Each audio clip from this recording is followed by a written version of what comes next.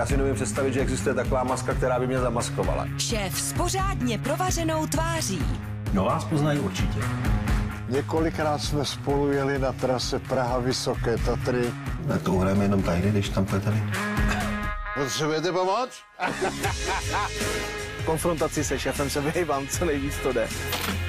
Nebudeme dělat problém, že no. Ty mám volat městskou. A vy se tady o to, že jeden mluví a druhý dělá, nebo jak to tady máte rozdělený dva? Prostě vyhazujeme prachy z okna, ty vole, jenom kvůli tomu, že to nevolídá. To je takhle kousavej. Utajený šéf. Nemůžete tady se vykecávat, ale máte na to půl hodiny. Premiérový díl dnes ve 2020 na Nově a už teď na Vojo.